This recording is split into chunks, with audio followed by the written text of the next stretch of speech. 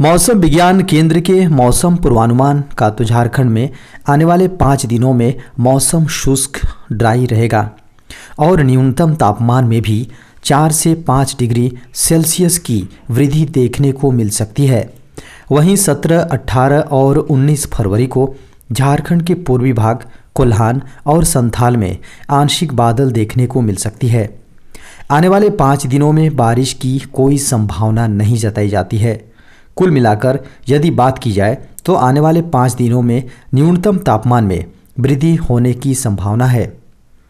मौसम केंद्र के अनुसार पिछले 24 घंटे में झारखंड में मौसम शुष्क रहा है।